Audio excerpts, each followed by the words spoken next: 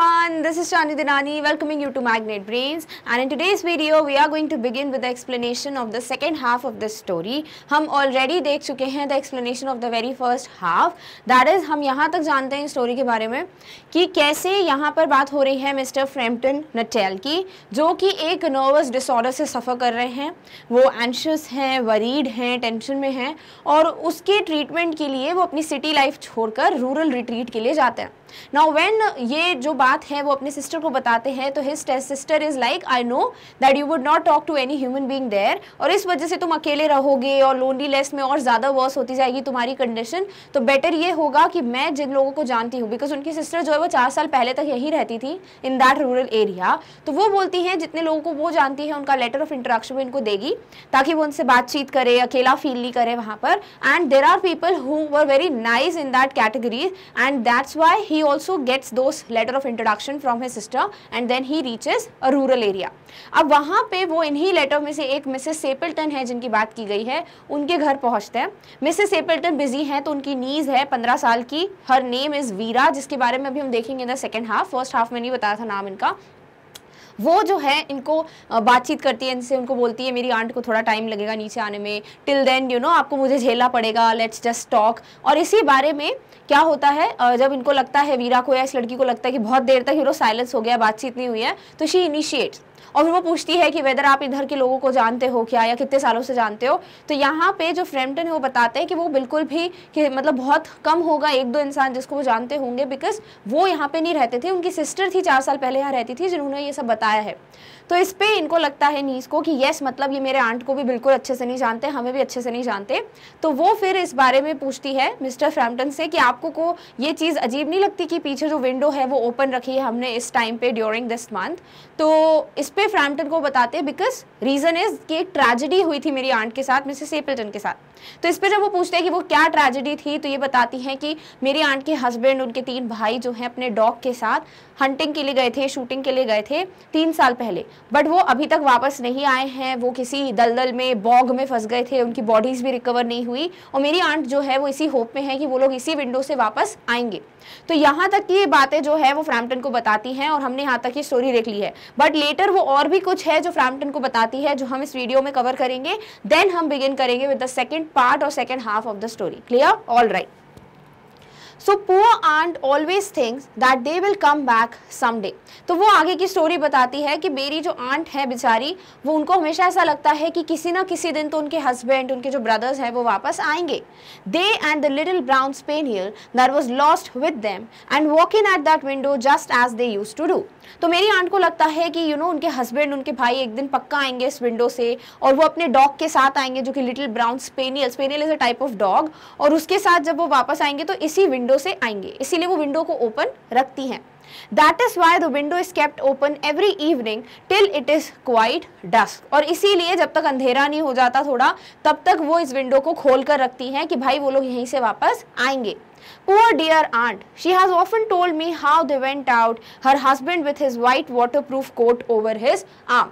तो वो बोलती है मेरी बेचारी आंट बेचारी वो क्यों बोल रही है बिकॉज़ ऑब्वियसली वो वेट कर रही है अपने हस्बैंड अपने ब्रदर्स के लिए तो उनको बहुत ज़्यादा इमोशनली वो डिस्ट्रेस्ड हैं और यू नो बहुत ज़्यादा झटका लगा है उनको इस इंसिडेंट से तो वो बोलती है मेरी पुअर आंट हमेशा मुझे बताती है कि कैसे उनके हस्बैंड जो हैं वो अपने वाटर प्रूफ वाइट कलर के कोट के साथ गए थे and Ronnie her youngest brother singing Bertie why do you bound as he always did to tease her और कैसे उनका जो छोटा भाई है, जिसका नाम है रॉनी, वो हमेशा ये गाना गाता रहता था Bertie how do you bound ये इसीलिए गाना गाता था क्योंकि इससे वो परेशान करता था टीज करता था किसको?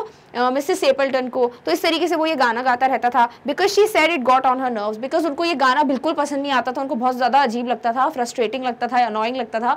तो इनका जो ब्रदर है यंगर ब्रदर हमेशा ये गाना गाता रहता था। तो इस तरीके से वो बताती है कि मेरी पुअर आंट जो है, वो बताती है कि जैसे तीन साल पहले उनके husband with a white coat that is waterproof coat और उनके छोटा भाई जो हमेशा गाना गाता रहता था, वो कैसे गए थे और अभी तक वापस नहीं आए। बट यस उनकी आंट को लगता है कि वो बहुत जल्द वापस आ जाएँगे। Do you know sometimes on still, quiet evenings like this, I almost get a creepy feeling that they will all walk in through that window. फिर यहाँ पर ये जो नीज है वो बोलती है फ्रैम्पटन को कि आपको पता है कि कभी कभी यू नो ऐसी जब शांत होती शांति होती है और ऐसी इवनिंग शाम का टाइम हो जाता है तो मुझे कभी कभी ऐसी क्रीपी सी ऐसी अजीब सी और ऐसी डरावनी सी फीलिंग आती है कि वो लोग कभी भी किसी भी मोमेंट इस विंडो से वॉक करके आएँगे यानी उनकी जो आत्माएँ हैं स्पिरिट्स हैं जो घोस्ट हैं वो इस विंडो से आएँगे एंटर करते हुए ऐसा मुझे बहुत बार लगता है ऐसी मुझे फीलिंग आती है तो इस तरीके से वो ये पूरा डिस्क्रिप्शन देती है उनकी फैमिली के बारे में, कैसे उनकी आंट वेट कर रही है और इसीलिए इस विंडो को उन्होंने ओपन रखा है। तो इस, अब थोड़ी थोड़ा समझ आ रहा है हमको कि इस चैप्टर का नाम द ओपन विंडो क्यों रखा है। क्लियर अब हम देखते हैं कि सेकेंड हाफ़ जो है उसमें स्टोरी क्या देखते हैं हम, या फिर क्या हम यू नो समराइज वेज में देखेंगे कि what are the point that would be covered in the second half clear all right Mrs. Stapleton comes down at last and inadvertently confirms her niece story. अब ये जो चीज़ है ये पहली चीज़ है जो हम देखेंगे इस पूरे पार्ट में। वो क्या है? फाइनली मिसेस सेपल्टन नीचे आएँगी। दूसरी बात वो एक्सीडेंटली इस स्टोरी को प्रूव कर देंगी जो नीस ने सुनाई है। अब वो कंफर्म कैसे करती है? एक्सीडेंटली कैसे होता है? वो सब हम चीज़ इसमें देखेंगे। बट येस कहीं ना कहीं वो यू you नो know, एक तरीके से सील लगा देती है स्टोरी पे कि हाँ ये बिल्कुल सही है। और वो कंफर्म कर देती है। तो फ्रैम्पटन अटेल इज़ लाइक कि हाँ उनको लगता है सच्ची में इनके जो हस्बैंड हैं, उनके भाई जो हैं, वो अभी तक लौटे नहीं हैं। तीन साल पहले सच में ये मिस हैप या ये ट्रेजिडी इनके घर में हुई थी। क्लियर सेकेंड पॉइंट जो हम कवर करेंगे सेकेंड पार्ट में वो होगा Frampton tries to acquaint his host with the nature of his ailment acquaint का मतलब होता है फमिलियराइज यानी कि पताना तो फिर वो अपनी होस्ट यानी कि जो मिसेस सेपल्टन है, उनको अपनी एलमेंट अपनी बीमारी के बारे में बताते हैं कि किस तरीके से वो क्या चीज़ से सफ़र कर रहे हैं डॉक्टर ने क्या एडवाइस किया है, वो क्यों मिलने आए इस तरीके से वो सारी बातें जो हैं, किसको बताते हैं? मिसेस सेपल्टन को। Next is through the open window he can see things that worsen his nerves पर ऐसा कुछ होता है जो कि रिलेटेड है ओपन विंडो से, जो कि हमारे चैप्टर का ही नाम है, कि वो इनकी कंडीशन को और ज़्यादा ख़राब कर देता है। अब वो क्या होगा, वो तो हम देखेंगे लेटर इन द स्टोरी तो ये तीनों चीज़ें हैं जो कि समराइज वे में गिवन है that we are going to see in detail in this particular part clear all right so now let's just begin कि एग्जैक्टली exactly आगे स्टोरी में क्या होता है। She broke off with little shudder कौन? Mrs सेपल्टन finally वो नीचे आ जाती है and she broke off with little shudder shudder मतलब ऐसे हिलना। थोड़े शोल्डर की जो मूवमेंट होती है ना, कि हम ऐसे करके बात नहीं करते, पता नहीं इस टाइप का जो होता है उसे शडर कहते हैं। तो ये वाले मूवमेंट में वो जल्दी जल्दी आती है बिकॉज़ वो लेट हो गई हैं यू नो अपने इतनी देर से वेट कर रहे हैं, जो हाँ जो ये मिस्टर फ्रैम्पटन है। तो इस तरीके से वो आती हैं, थोड़ा यू नो हिल डुलते हुए। It was a relief to Frampton when the aunt bustled into the room with a whirl of apologies for being late in making her appearance तो जैसे ही वो आती हैं बसल का मतलब होता है एंटर द रूम नॉइजिली बहुत जल्दी जल्दी आना आवाज़ करते हुए। Whirl of apologies means many apologies whirlpool नहीं बोलते जैसे हम, बहुत सारी वेव्स होती हैं। तो वर्ल ऑफ़ अपॉलोजीज यानी बहुत सारी माफ़ी मांग रही हैं, वो बहुत ज़्यादा अपॉलोजाइज कर रही हैं। तो ये चीज़ जो है वो दैट वॉज़ समथिंग बहुत ज़्यादा रिलीविंग था, यानी रिलैक्सिंग था फॉर फ्रैम्पटन बड़ा उनको रिलैक्सड फील होता है। जैसे ही मिसेस सेपल्टन आती हैं, बहुत जल्दी जल्दी रश करते हुए रूम में आवाज़ें करते हुए, और वो माफ़ी मांगने लगती हैं किससे? फ्रैम्पटन से कि सॉरी मैं इतनी देर से आई हूँ यू नो मैं अपने आप को प्रेजेंट करने में यहाँ पर इतनी लेट हो गई। I hope Vera has been amusing you she said अब वीरा कौन है? यही है वो girl who is fifteen years old niece of you know Mrs Stapleton जो कि इनको पूरी स्टोरी सुनाती है ट्रेजिडी के बारे में एवरीथिंग तो कौन है Vera Vera is the name of that particular girl तो अभी तक हमको सारे कैरेक्टर समझ आ गए हैं। Number one is Frampton Nuttel number two is Mrs Stapleton number three is Vera that fifteen year old girl clear तो वो बोलती है कि मैं आशा करती हूँ आई जस्ट होप कि वीरा जो है वो आपको एंटरटेन कर रही थी बोर नहीं कर रही थी। She was like taking care of you interact कर रही थी आपके साथ। She has been very interesting said Frampton तो फ्रैम्पटन बोलते हैं हाँ ये बहुत इंटरेस्टिंग है, यानी बहुत इंटरेस्टिंग बातें करती है। ऑब्वियसली उसने पूरी स्टोरी सुनाई थी तो दिस इज़ हाउ वो एंटरटेन्ड थे, उस वक्त बोर नहीं हुए थे वो। सो ही वॉज़ लाइक कि नहीं, वीरा जो है वो सच में बहुत इंटरेस्टिंग है। Clear all right I hope you don't mind the open window, said Mrs. Sapleton briskly. My husband and brothers will be home directly from shooting and they always come in this way.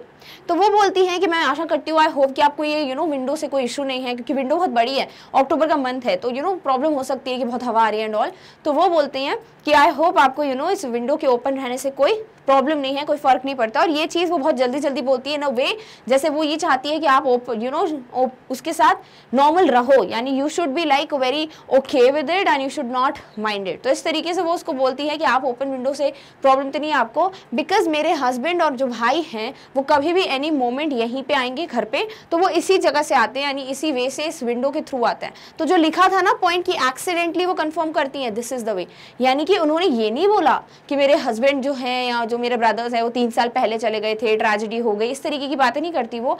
But वो ये चीज़ें बोलती है जो कि वीरा ने भी बोली कि वो शूट के लिए गए हैं शूटिंग के लिए sorry shooting in the sense hunting not shooting ठीक है? और फिर वो जो है यहीं से वापस आते हैं और ऐसा मेरी आंट को लगता है कि वो वापस आएँगे। तो वो यही चीज़ बोलती है तो एक्सीडेंटली ये स्टोरी कंफर्म हो जाती है, यानी कि वीरा ने जो कुछ भी बोला, वो सच था, वो ट्रेजेडी जो है बिल्कुल सच है। क्लियर ऐसा किसको समझ आ जाता है? फ्रैम्पटन को।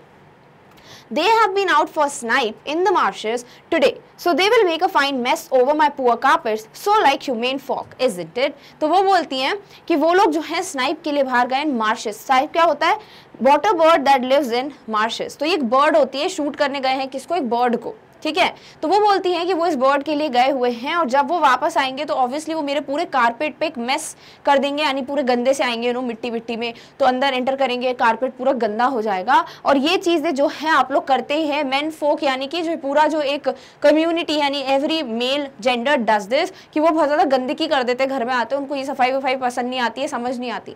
ऐसा कौन बोलती है मिसेस सेपल्टन कि आप लोग जो है, यही करते हैं तो मेरे हस्बैंड और जो मेरे ब्रदर्स आएँगे, वो भी पूरा मेस कर देंगे इस कारपेट पे तो वो इसी एरिया से आते हैं, इसलिए मैंने विंडो को ओपन करके रखा है। क्लियर तो इस तरीके से वो अभी वो बता रही हैं कि यू नो विंडो क्यों ओपन रखी है और उनके कौन कौन यू नो वहाँ से एंटर होने वाला है। तो वीरा की जो स्टोरी थी, वो बिल्कुल यहाँ पे प्रूफ हो रही थी कि वो जो कुछ भी बोल रही थी, वो बिल्कुल सही थी। Clear all right She rattled on cheerfully about the shooting and the scarcity of birds and the prospects for duck in the winter. इस तरीके से मिसेस सेपल्टन जो है वो बोलती जाती, बातचीत करती जाती हैं लाइक शी रैटल्ड रैटल मतलब वेंट ऑन बड़बड़ बड़बड़ करना जो होता है ना, उसको कहते हैं रैटल करना। तो she just went on by telling cheerfully बड़ी खुशी से वो बताती हैं अबाउट द शूटिंग कि कैसे हंट करते हैं वो, कहाँ जाते हैं everything and the scarcity of birds और कैसे बर्ड्स की कमी आ गई? बिकॉज़ वो बर्ड को ही शूट करने गए राइट तो कैसे बर्ड्स जो है वो मिल नहीं रही हैं? There are very few birds no birds और वेरी फ्यू स्केसिटी का मतलब होता है, बहुत कम, कमी हो जाना right and the prospects for duck in the winter prospect का मतलब होता है पॉसिबिलिटी और डक्स भी जो है वो विंटर में मिलना बड़ी मुश्किल होती है, यानी कि ओवरऑल वो देख, बता रही थी कि शूट क्या होता है हंट कैसे करते हैं देन कितनी स्केसिटी है बर्ड्स की डक को ढूंढना या पॉसिबिलिटी डक की होना विंटर सीज़न में बड़ी ही डिफ़िकल्ट होती है. तो इस तरीके से वो यू नो बताते जाती हैं, अपनी बातें करती जाती हैं किससे? फ्रैम्पटन से. To Frampton it was all purely horrible but Frampton को बड़ा मज़ा नहीं आ रहा था कि अरे वाह वाह किसी अच्छी बातें करें बिकॉज़ ऑलरेडी वो एक नर्व डिसऑर्डर से यू नो सफ़र कर रहे हैं तो उनके लिए ये सारी चीज़ें बड़ी हॉरेबल थी। उनको बिल्कुल अच्छी नहीं लग रही थी। एक तो ये भी रीज़न था, क्योंकि वीरा ने बता दिया था कि तीन साल पहले ही ये लोग जा चुके हैं। Unfortunately they are no more उनकी बॉडीज़ भी नहीं मिली है। और वो बार बार ये बोल रही है कि इस तरीके से वो लोग आएँगे स्कैसिटी तो वो सारी चीज़ें जो है कहीं ना कहीं बहुत ज़्यादा हॉरेबल होती जा रही थी इन द सेंस डरावनी होती जा रही थी किसके लिए? फ्रैम्पटन के लिए। He made a desperate but only partially successful effort to turn the talk onto a less ghastly topic. He was conscious that his hostess was giving him only a fragment of her attention and her eyes were constantly straying past him to the open window and the lawn beyond. तो ये जो थे Frampton वो पूरी कोशिश कर रहे थे, बिल्कुल अपनी मर्ज़ी से डेस्परेटली पूरी कोशिश कर रहे थे। बट येस वो पार्शली ही सक्सेसफुल हुआ। थोड़ा बहुत ही वो सक्सेसफुल हो पाते और वो क्या कोशिश कर रहे थे कि वो ये जो गैसली टॉपिक था, यानी बहुत ही बकवास सा टॉपिक चल रहा है वेरी हॉरेबल जो ये डिस्कशन चल रहा था, उससे वो टॉपिक को चेंज कर सके। बट येस वो पूरी कोशिश करते हैं बट वो थोड़े से ही सक्सेसफुल हो पाते हैं। And he was conscious that his hostage was giving him only a fragment of her attention और उनको ये समझ आ रहा था कि मिसेस सेपल्टन सिर्फ़ थोड़ा बहुत ही ध्यान दे रही है फ्रेगमेंट यानी कुछ पार्ट अटेंशन का। तो सिर्फ़ थोड़ा बहुत ही ध्यान दे रही थी वो फ्रैम्पटन की बातचीत पे, बाकी बातें वो सुन भी नहीं रही थी। एंड आईज वो constantly straying past him to the open window and the lawn beyond straying का मतलब होता है मूविंग यानी कि पूरा टाइम कॉन्स्टेंटली कंटिन्यूसली जो ये स्टेपल्टन है, वो क्या कर रही थी? वो देख रही थी उस विंडो की तरफ़, जो कि सीधे सीधे फ्रैम्पटन के पीछे थी, ठीक है? उस विंडो को वो देख रही थी और उस विंडो के बाहर जो लॉन था, बस वो उसी को देख रही थी, यानी उनका पूरा ध्यान इस पर था कि कब यूनो उनके हस्बैंड वापस आएँगे, कब उनके ब्रदर्स वापस आएँगे। It was certainly an unfortunate coincidence that he should have paid his visit on this tragic anniversary.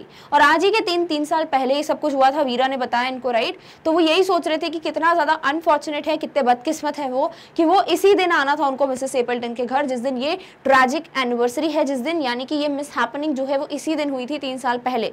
तो ये बहुत ज़्यादा अनफॉर्चुनेट था उनके लिए कि that he came to this on this particular day only to Mrs Sappleton house when this mishappening happened like three years back. So he was not at all happy with this thing. The doctors agree in ordering me complete rest, an absence of mental excitement, and avoidance of anything in the nature of violent physical exercise, announced Frampton, who labored under tolerably widespread delusion that total strangers and chance acquaintances are hungry for the least detail of one's ailments and infirmities, their cause and cure. तो क्या होता है Frampton फिर अपनी बातचीत कर रहे हैं मिसेस सेपल्टन से और वो बोलते हैं कि डॉक्टर ने मुझे ये बिल्कुल ऑर्डर किया है या मुझे डॉक्टर्स ने ये चीज़ प्रिस्क्राइब की है कि मुझे कंप्लीट रेस्ट करना है। मुझे बिल्कुल आराम से यू नो अपनी लाइफ जीनी, थोड़ी पीसफुली रेस्ट करना है। मुझे बिल्कुल ऐसा हॉचपॉच या बहुत ज़्यादा टेंशन नहीं लेना है because obviously that is going to strain you know his nerves और इस तरीके से प्रेशर बिल्टअप होगा। तो मुझे पूरा कंप्लीट रेस्ट लेना है। An absence of mental excitement मुझे मेंटली कोई भी ऐसी चीज़ यहीं देखनी बात नहीं करनी जिससे यू नो वो एक्साइट यानी खुश हो जाए इसका नहीं मतलब एकदम से बहुत ओवर रिएक्शन आए बहुत ज़्यादा दुखी हो जाए बहुत ज़्यादा डर जाए तो कोई भी ऐसी चीज़ उनको नहीं करनी है।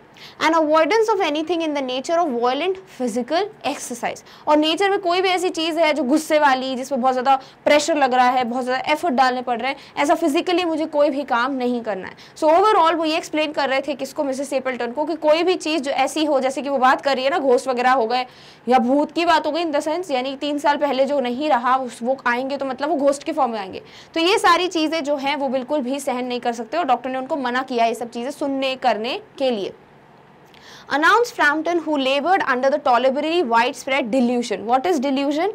False impression or belief. तो वो पूरी कोशिश कर रहे थे लेबर्ड यानी he was just putting all his efforts hard work कर रहे थे वो।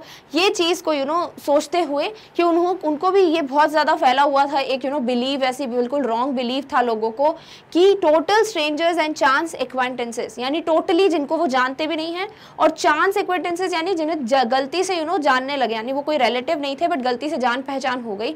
ऐसे लोग जो है are hungry for the least detail of one's ailments and infirmities their cause in cure वो लोग बिल्कुल बिल्कुल लीस्ट इंटरेस्टेड होते हैं ना के बराबर इंटरेस्टेड होते हैं किसी के भी बिल्कुल you you know know, ailments या इन्फॉर्मिटीज यानी जो भी प्रॉब्लम है, जो भी बीमारी है, उसको जानने के लिए। So relating to health complaints of sickness और वीकनेस यानी कोई भी अगर अपनी तबियत के बारे में बता रहा है कि मुझे ये प्रॉब्लम है, ऐसे कंप्लेन कर रहा है, वो चीज़ें, उसका कैसे ट्रीटमेंट होगा क्योर और कॉज और वो क्यों हुई है? ये सब चीज़ें जानने के लिए कोई भी स्ट्रेंजर या चांस एक्वेंटेंसेस सबसे कम हंग्री होते हैं, यानी सबसे कम इंटरेस्टेड होते हैं। और यही चीज़ जो है, सोचते हुए पूरी कोशिश कर रहे थे कि वो बताएँ मिसेस सेपल्टन को कि उनकी क्या कंडीशन है। Done all all right.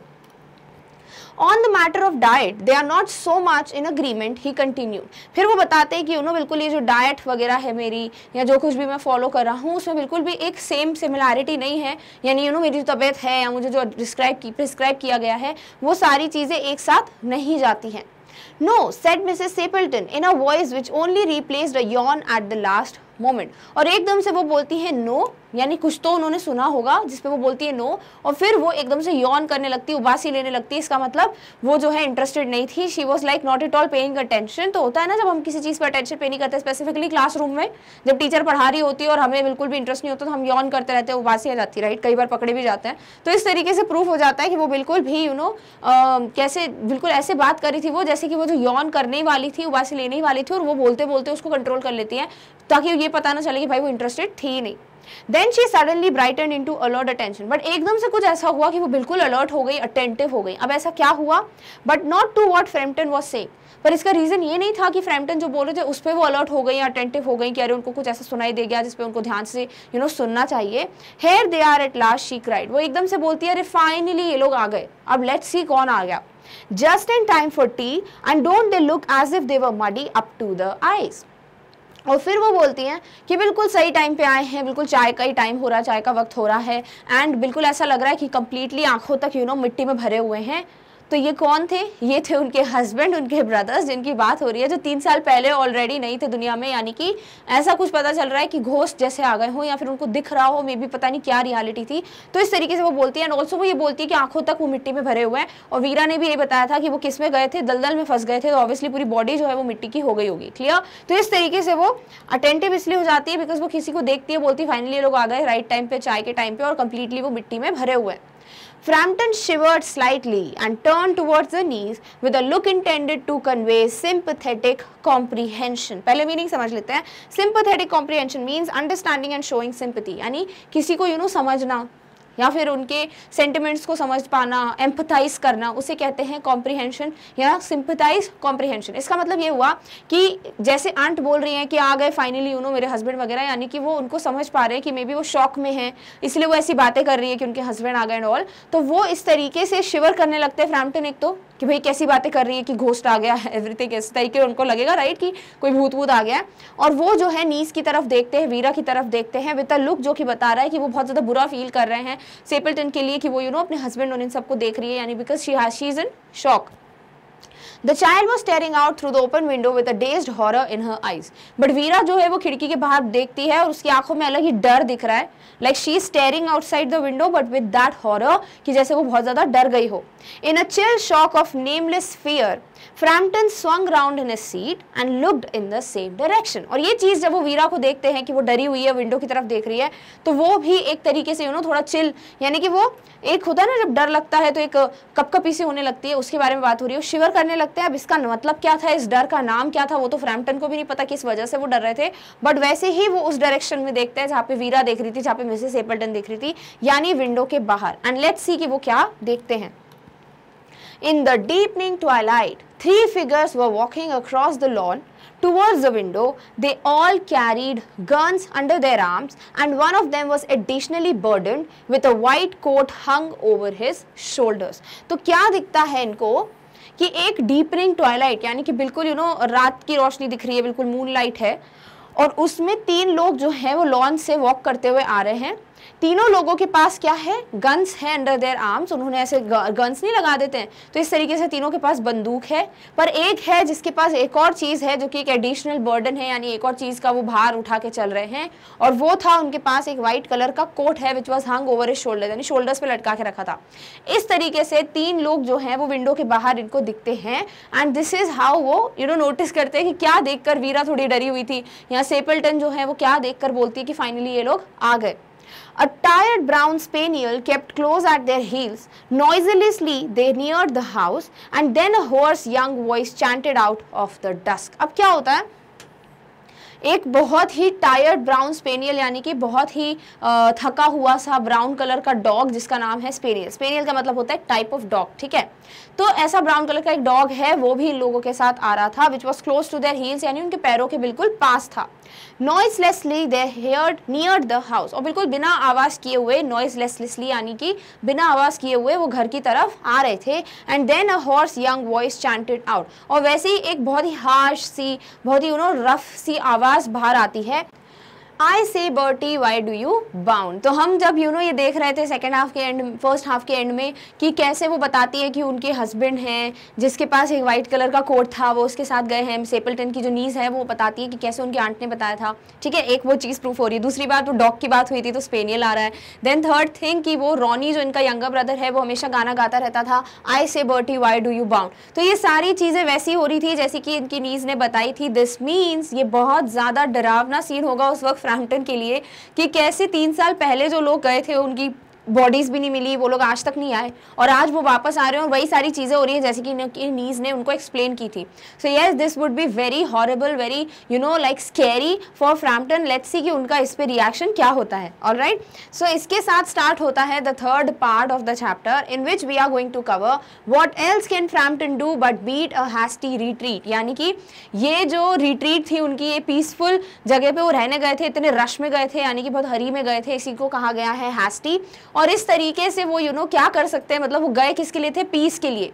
ठीक है आयरन ही देखो, गए थे वो शांति के लिए बट इनको यहाँ पर ऐसा स्केरी सा बिल्कुल एक्सपीरियंस होता है तो किस तरीके का उनका ये जो नर्वस डिसऑर्डर है, वो ट्रीट हुआ होगा that we can imagine right second thing it had he seen a ghost question mark क्या उन्होंने घोस्ट को देखा है? बिकॉज़ वो जो लोग थे, वो तीन साल पहले गए थे, वो सच में विंडो से आ रहे थे, वही पूरा डिस्क्रिप्शन था अपियरेंस था, जो कि वीरा ने एक्सप्लेन किया था। इट मीन्स क्या उन्होंने, यानी फ्रैम्पटन ने सच में भूत को देख लिया था या घोस्ट को देख लिया था?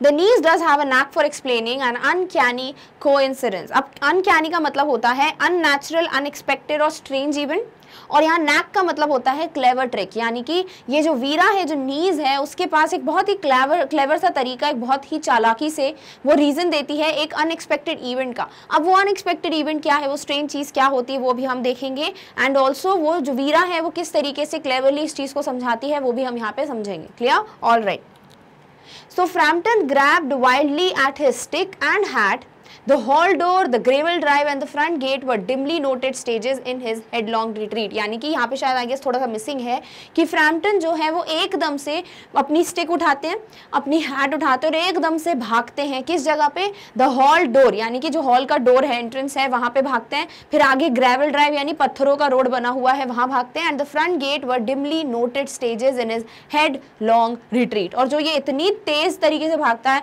बिल्कुल स्पीड में बिल्कुल भागते हैं ये फ्रैम्पटन तो एकदम से हॉल का डोर, फिर बिल्कुल वो पत्थर वाला जो ग्रेवल ड्राइव है, जहाँ पत्थर बिछे हुए हैं वहाँ पर। और उसके बाद जो फ्रंट गेट है मेन गेट होगा घर का, वो सब चीज़ें बिल्कुल ऐसी डिमली यानी बहुत छोटी सी दिखती हैं, बहुत ही कम दिखाई देती हैं मतलब वो इतनी जल्दी से उनसे पार होकर भाग जाता है। इट मीन्स फ्रैम्पटन जो है, वो डर जाते हैं ये देखकर, जब उनको पता चलता है कि भाई तो भूत आ गए स्पिरिट्स आ गई हैं, और इसे देखकर वो वहाँ से बहुत जल्दी भाग जाते हैं।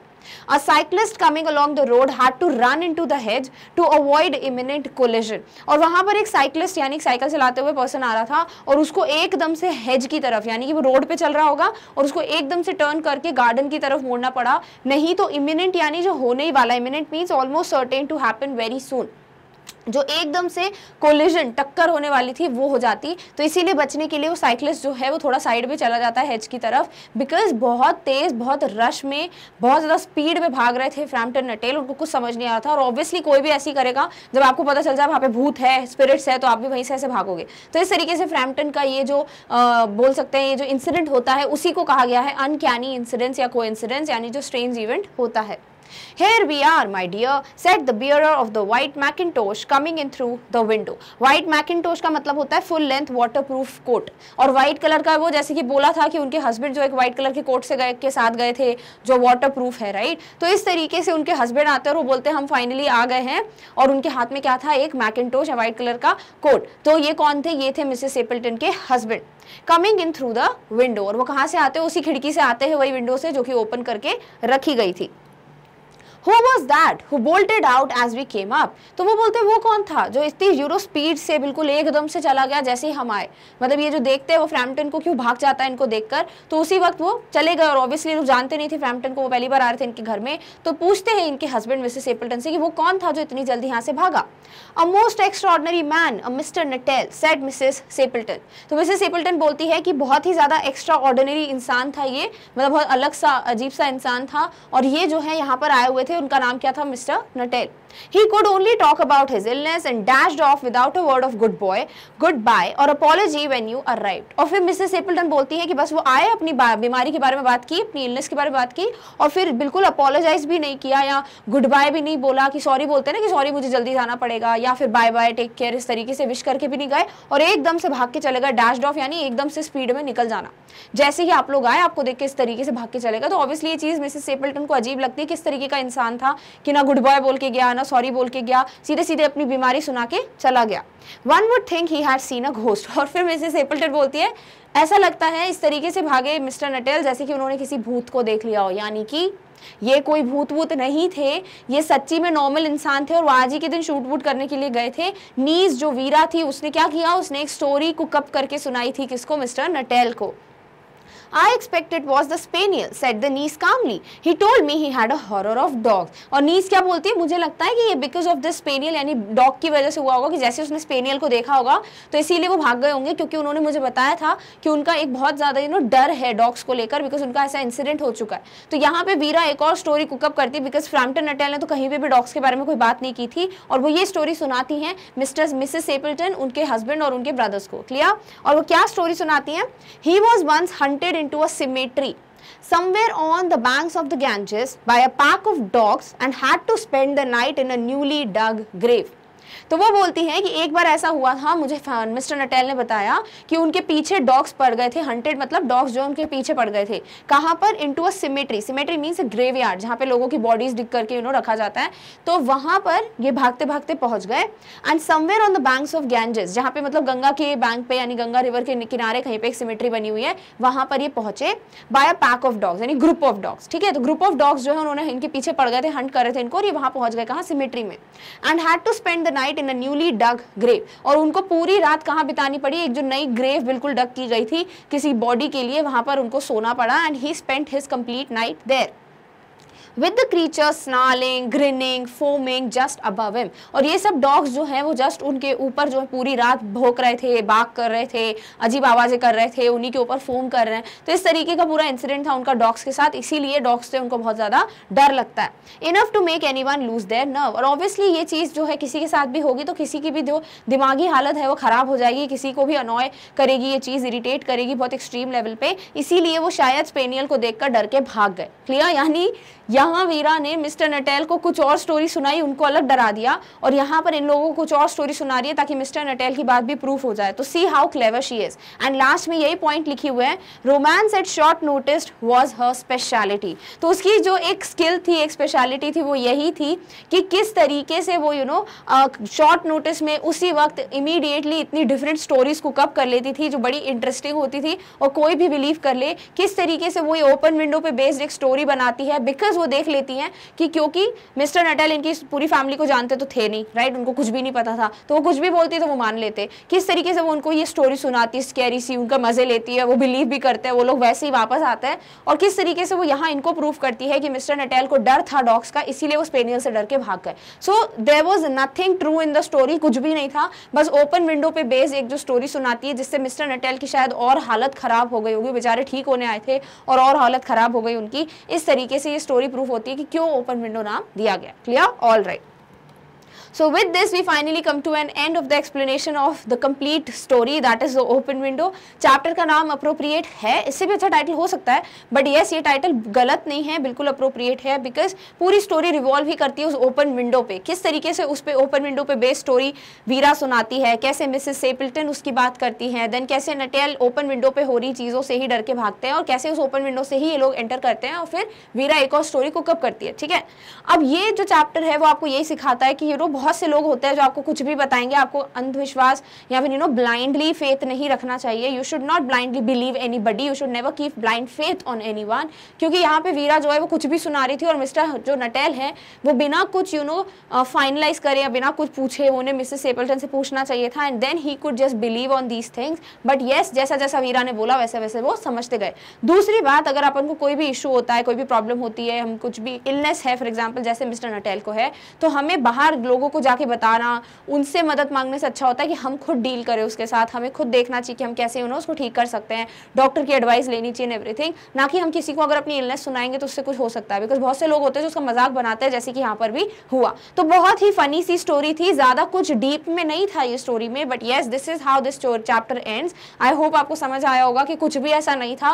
वीरा ने जो कुछ भी सुनाया था वो एक स्टोरी थी। कुछ भी ऐसा नहीं था कि तीन साल पहले वो गए थे और ओपन इसीलिए रखी थी विंडो उन्होंने, क्योंकि रात तक अंधेरा होने तक वो हमेशा विंडो ओपन रखती थी ताकि शूट करते हुए या हंट करने के बाद जब उनके फैमिली मेंबर्स वापस आएँगे मिसेस सेपल्टन के तो वो यहाँ से एंटर करेंगे। So this is how this chapter ends I hope आपको ये स्टोरी जो है वो इंटरेस्टिंग लगी होगी and as you found out कि एक्जैक्टली क्या हो रहा था in this chapter there were many many difficult words but I hope आपको सबके मीनिंग क्लियर हो गए होंगे। चलिए in the next video we are going to meet very soon with next topic till then take care of your और इस topic की notes की लिंक आपको डिस्क्रिप्शन बॉक्स में मिल जाएगी। Thank you so much for watching bye